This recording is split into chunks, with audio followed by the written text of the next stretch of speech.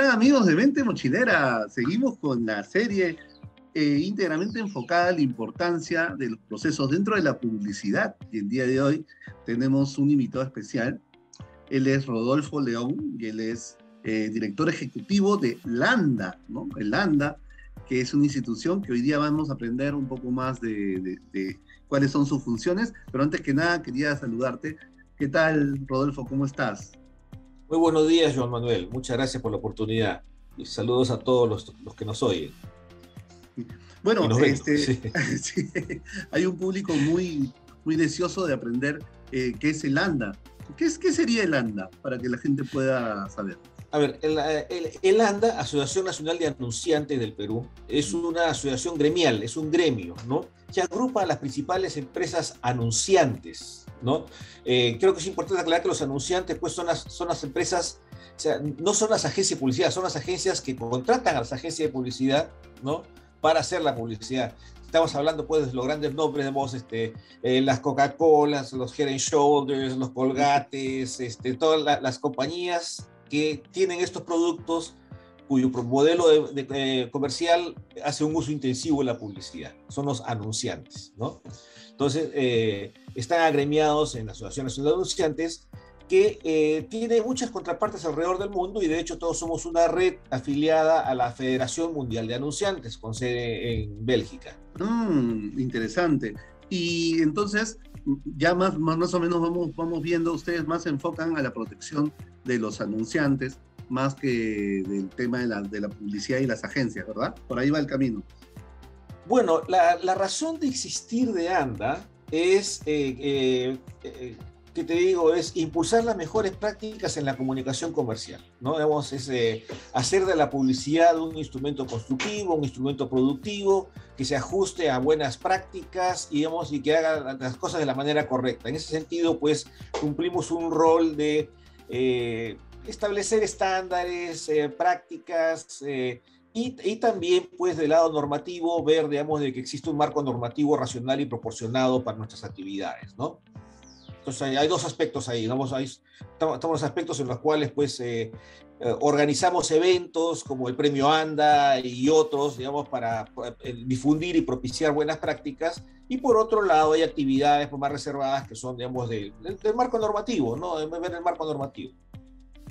Interesante. ¿Y cómo le fue en, la, en época de pandemia? ¿Cómo les ha ido? El, mundo cambió, ¿no? Entonces ha habido que readaptarse, porque la verdad pues es que no... Eh, hay que seguir produciendo, la gente sigue consumiendo, hay que seguir abasteciendo, pero sí eh, la publicidad tiene que hacerlo de acuerdo para llegar al consumidor, que es el gran desafío del publicista. No sé, ¿cómo hago yo para que el publicista tenga conocimiento de, de que existo, de qué es lo que hace mi producto, de qué beneficios le presta, dónde lo encuentra, ¿no?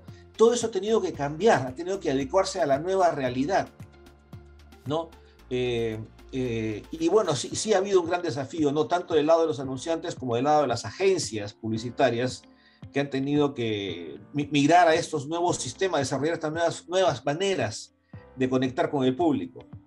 Qué interesante. Y cualquier, este, cualquier empresa puede, no sé, asociarse al ANDA o, o es que hay niveles para poder estar en el ANDA.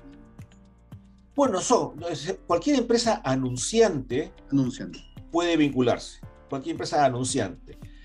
como te decía, en un buen momento tenemos las empresas, tenemos dos categorías de asociados, ¿no? la categoría de empresas anunciantes propiamente y luego también la que llamamos adherentes que es donde están las agencias y otros proveedores, porque nosotros hablamos también de la cadena de valor de comunicación comercial, que es toda la cadena, en realidad, pues va desde la gente que eh, pone los avisos eh, de, publicidad exterior, las agencias de diferentes tipos que hay, ¿no?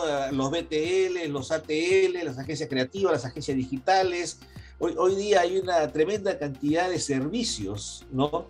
Para eh, impulsar la industria publicitaria a, todos aquellos que no son anunciantes propiamente, los, son eh, lo que nosotros denominamos adherentes y sí, tienen libertad de asociarse con nosotros, a, ser parte del, parte del, esfuerzo pues, de mantener la actividad publicitaria eh, vigente, aceptable, este, deseable y reconocida como necesaria.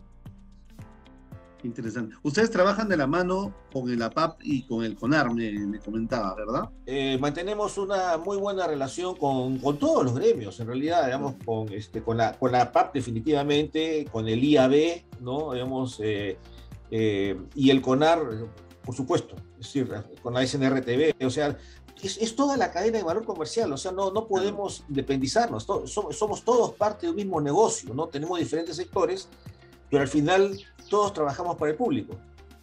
Claro, totalmente.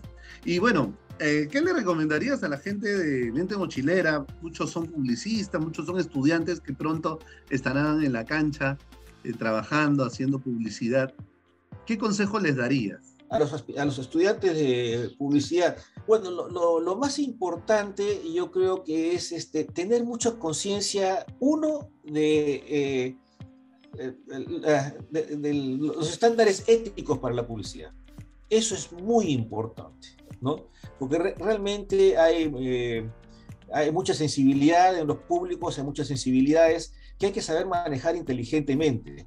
Entonces, la, realmente la publicidad tiene que mantenerse dentro de estos estándares que establece el código de, código de ética, ¿no? Digamos, muchos de ellos pues es el buen gusto en la publicidad, la decencia, la legalidad, la veracidad, ¿no? Eh, la autenticidad, pues un, comercial tiene que ser eh, claramente un comercial y no, no, pasar, no, tratar de pasar desapercibido. La veracidad, lo que digamos, tiene que ser cierto. Y porque eso es muy importante, ¿no? Digamos, como dicen, eh, un mal producto se vende una sola vez con la publicidad. O sea, tú, el, truco de la publicidad es que la gente te recuerde, eh, te encuentre, ¿no? disfrute de la promesa que es tu producto y regrese por más. ¿no? Entonces, eh, esa dinámica es importante que el publicista la mantenga en mente. ¿no? Eh, eh, eso es lo primero. Y lo otro, hoy día yo creo que dos, dos elementos de creciente importancia, uno de ellos ha estado siempre ahí, que es el de la creatividad, la mente creatividad, vemos el, la originalidad en los comerciales es importante para captar siempre la atención del público. Y, hoy día además tenemos un desafío que es en realidad para todos los profesionales de todos lados, ¿no? Un buen manejo de los temas digitales, de los recursos digitales, ¿no? Bueno, este, Rodolfo, bueno, muchas gracias por, por toda la información que nos has brindado, sobre todo que es importante eh, conocer cuáles son las, las, instancias, las instituciones que velan por los anunciantes y por la publicidad. ¿Tienen alguna página web, algún lugar donde podamos profundizar en, el conocimiento del ANDA? Sí, por supuesto, busquen ANDA Perú, es este www.andaperú.pe. Eh, igual ahí mismo pueden buscar la revista ANDA este, de, la misma manera. Eh, y están nuestras redes sociales, con, solo poner Anda Perú nos van a encontrar en, todo, en todas partes. Nos van a encontrar en web, nos van a encontrar como la revista, nos van a encontrar en, en las redes sociales, LinkedIn, Facebook, Instagram. Estamos ahí. Qué genial. Y a la orden también para cualquier cosa, ¿no? Sí.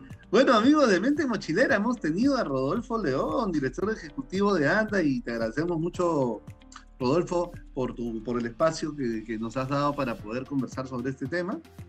Y bueno, ya saben, amigos, si les gustó, eh, dejen su comentario debajo del video. Suscríbanse y, compartan el video para que sigamos siendo más dentro de la comunidad de comunicadores del Perú. Muchas gracias, Rodolfo. Muchas gracias, amigos de Mente Mochilera. Nos vemos. A, ti, Joan las gracias por el espacio. Saludos a todos. Gracias.